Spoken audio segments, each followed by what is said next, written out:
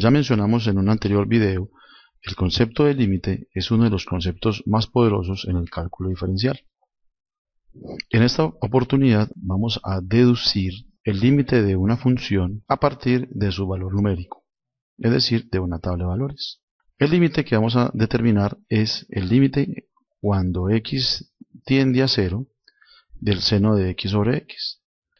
Si como primera medida evaluamos, el seno de 0 es 0 sobre x que tiende a 0 y esto da una forma indeterminada. Veamos entonces cómo podemos determinar el límite de esta función a partir de sus valores numéricos. Vamos a determinar el límite de esta función por una aproximación numérica.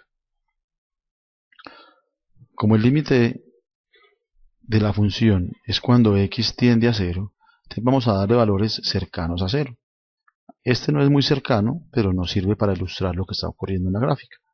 Menos 2, menos 1, menos 0.5, menos 0.25, 0, que sabemos que ya da una indeterminación, 0.25, 0.5, 1 y 2.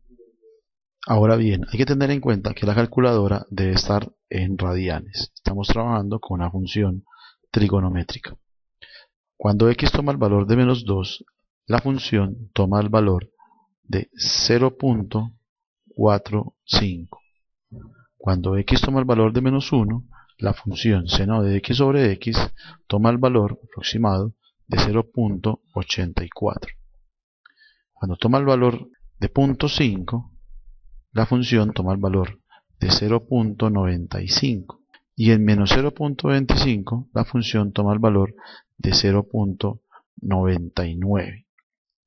¿Qué es lo que eso significa? Esto significa que mientras más nos estamos aproximando a 0 por la izquierda, dándole valores cercanos al 0, la función pasa de 0.45, 0.84, 0.95, 0.99. Se está aproximando al 0.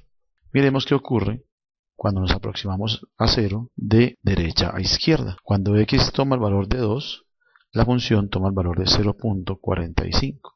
En 1 toma el valor de 0.84. En punto 5 toma el valor de 0.95 y en punto 25 toma el valor de 0.99. Como vemos, cuando la variable x se aproxima al número 0 por izquierda o por derecha, el valor de la función se está aproximando al valor número 1. Si nos apoyamos con la gráfica de la función, observamos que la función, mientras más nos acercamos al 0, la función por izquierda y por derecha se está aproximando al valor número 1 a este valor. Espero que esta explicación haya sido lo suficientemente clara para que ustedes puedan seguir avanzando en el estudio de los límites en el cálculo diferencial.